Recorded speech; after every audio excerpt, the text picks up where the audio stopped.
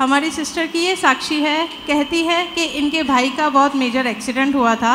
और जिसके कारण डॉक्टर ने कहा कि इसकी जो पीठ की हड्डी है वो टूट गई है। और ये कहती है जैसे मैं कली से आती हूँ जैसे पास्टर यहाँ से प्रार्थना कर रहे थे और मैं कह रही थी प्रभु मैं स्वीकार करती हूँ अपने भाई के लिए क्योंकि पास्टर हमेशा चंगाई के लिए प्रार्थना करते हैं क्योंकि हमने सुना है कि यीशु मसीह के मार खाने से ही हमने चंगाई पाई है तो हमारी सिस्टर ने कहा प्रभु मेरे भाई की हड्डी नहीं टूटी है लेकिन तूने उसको चंगा किया है मैं स्वीकार नहीं करती हूँ और कहती है मैं जैसे ही प्रार्थना करके घर गई और पास्टर ने हमारी हम सबके लिए प्रार्थना किया और इन्हें, इन्होंने अपने भाई के लिए स्वीकारा और कहती है, इनको फ़ोन आया कि जो भाई को डॉक्टर ने कहा कि तुम तीन हफ़्ते तक